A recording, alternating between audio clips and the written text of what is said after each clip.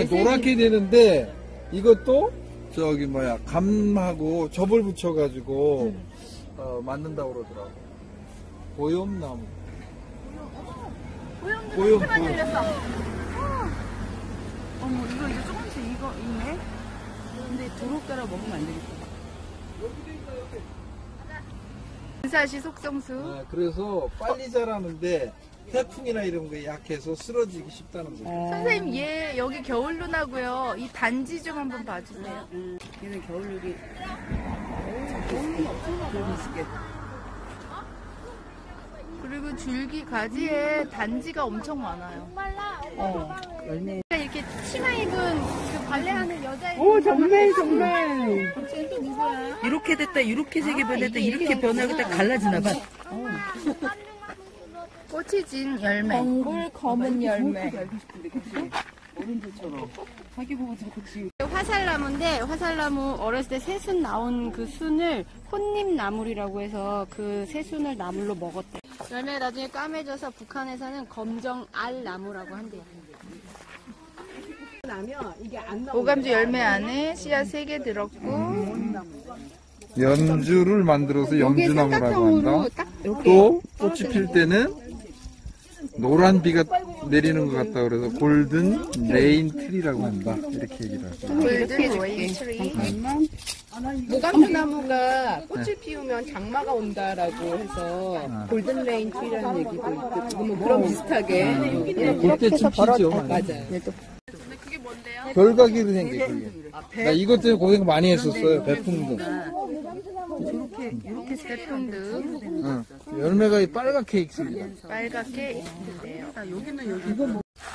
끝에서부터 꽃이 피어가는 무한 화서. 우리, 우리 이따가 꽃 내려가면. 이름은 아직 몰라요. 내려가면 사진 찍었던 거 미역치예요. 한 사람한테 싹 몰아주기 위해서 이게 본 것들 한번 정리하죠. 그래서 암술이 기냐 짧으냐. 개나리 꽃은 장주와 단주화가 있다. 영춘화라고도 얘기를 하죠. 영춘화 저번에 우리 봤었잖아요. 근데 이거를 영춘화라 봄을 맞이하는 꽃이라고 그래요. 저 영춘화는 따로 있어요. 나 따로 있어요. 따로 있지만 개나리가 봄을 맞이해서 영춘화라고도 그거 불려요. 예. 특산 식물입니다. 특산 식물 학명이 포시티아 코리아나. 포시티아 코리아나 개나리가요. 물풀에 나무 가고 가지가 밑으로 이렇게 처지는 자라는 그런 특징이 있다. 가지가 밑으로 처지는 특징이 있습니다. 네, 선생님 봐 이게 중생부와 떼죽나무인데 여기 눈이 하나 있고 뒤에 조그만한 목 하나 있죠? 어, 엎고 있는 것처럼 보이지 않아요? 요거 요거 요게 중생부 화. 떼죽나무 중생부화. 아, 핀 한번 맞춰주세요.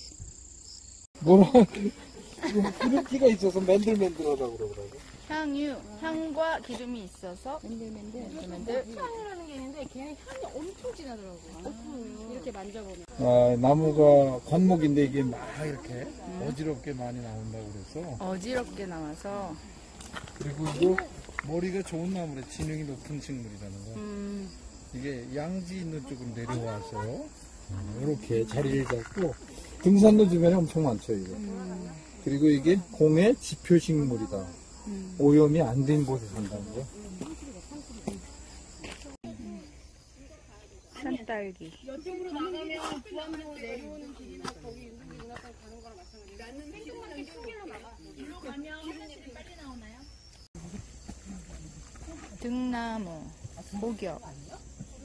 덩굴 식물.